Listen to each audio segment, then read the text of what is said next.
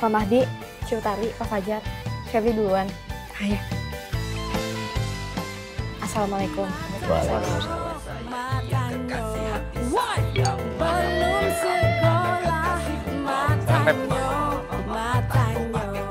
Hai, saya Bambang Chandra Bayu mau ngucapin terima kasih sudah setia menonton Dunia Terbalik di YouTube RCTI Layar Drama Indonesia. Dan jangan lupa saya minta subscribe, like, komen, dan share-nya buat kalian semua. Dan jangan sampai ketinggalan nonton Dunia Terbalik setiap hari jam 23.15 hanya di RCTI. Oke. Saya di belakang aja. Silakan, Kang. Tarik Bray.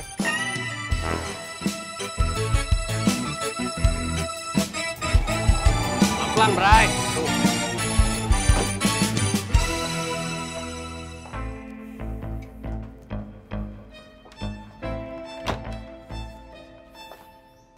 Ut, segera disiapkan pakaian yang akan diperagakan.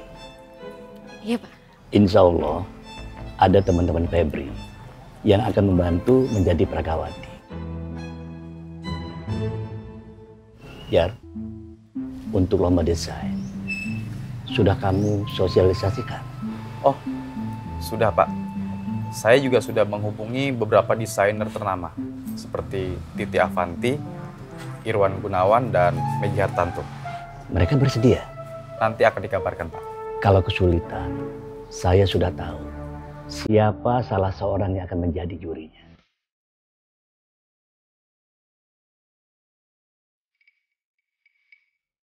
Feb, Iya, Pak. kamu belajar desain dan menjahit dari bapak kamu kan? Bapak kamu hari ini tidak sibuk. Insya Allah enggak, Pak. Alhamdulillah. Saya sekali mampir ke rumah kamu sebentar ya. Saya mau minta bantuan bapak kamu untuk menjadi salah seorang juri lomba. Iya, Pak. Fajar, kamu nunggu apa? Tidak Pak. Saya duluan. Utari, kamu antar. Utari bawa motor Pak. Iya, Pak. Saya bawa motor. Tapi tidak apa-apa, kamu antar.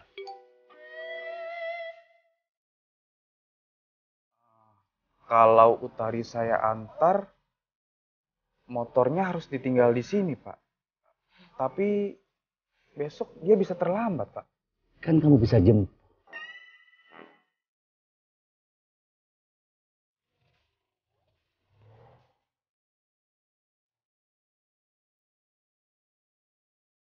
Kang, ngapain ke sini?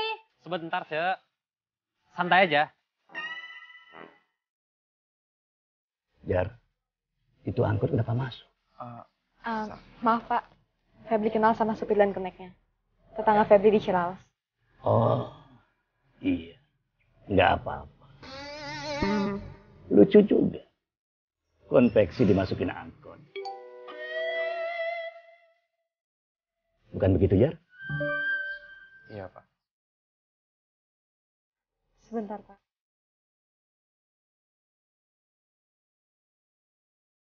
Assalamualaikum. Salam. Waalaikumsalam. Om. Kenapa masuk? Kan saya tunggu di luar aja. Tadi udah tunggu di luar, Pep.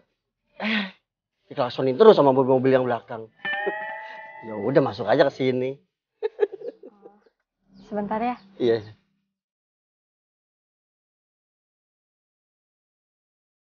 Pak Mahdi, Ciutari, Pak Fajar. Febri duluan. Ayo. Assalamualaikum. Waalaikumsalam.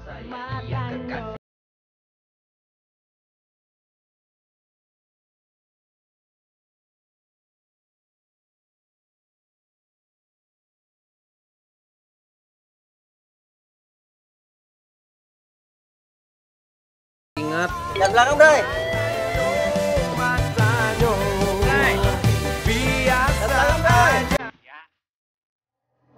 terus, terus. Ciraus, ciraus, ciraus, ciraus, ciraus, ciraus, ciraus, ciraus. Ciraus, ciraus, ciraus, ciraus, ciraus, ciraus, ciraus.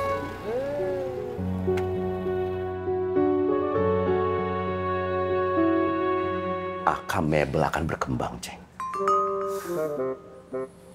Iya, akan berkembang, Kum. Saya akan keluarkan semua kreasi saya, Ceng. Dan kita bisa kerjasama ini, Ceng.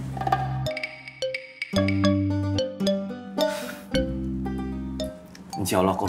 Insya Allah. Jadi, tawaran dari Pak Mahdi kamu terima? Nanti dulu. Kamu bilang dulu dong ini bagaimana rencana saya. Oh iya, ini ini bagus, bagus. Tapi gini, Kum, ya, Kak. Kalau bisa, nanti kalau kamu teh cari rukonya, jangan jauh-jauh dari Ciraus, ya. Ya cocok, Ceng. Ini aja udah sejalan kita pikirannya. Jadi nantinya rukonya yang buat display memang jangan jauh-jauh dari Ciraus. Tapi workshopnya ada di Ciraus.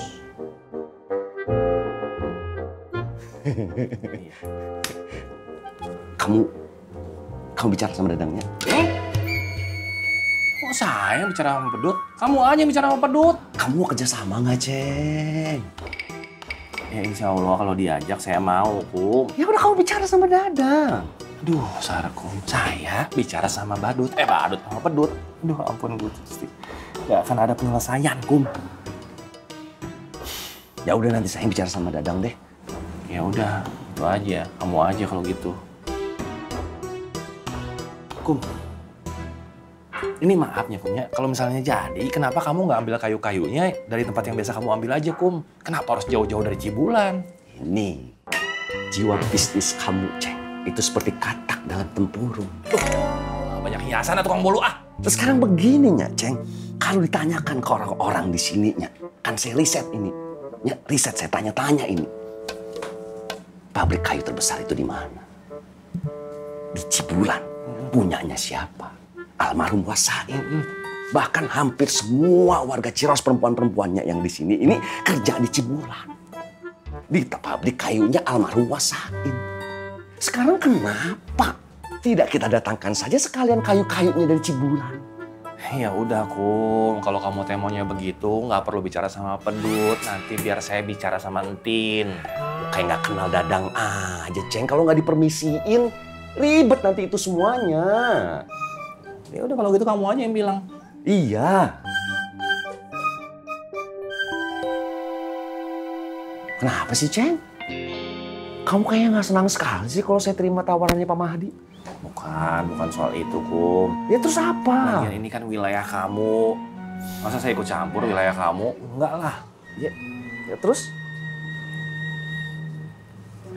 Veronica, dia teh masih tetap menganggap kalau sekolah itu nggak penting. Tuh, mumet kepala saya. Dek, Fer, Veronica boleh bantu? Oh boleh.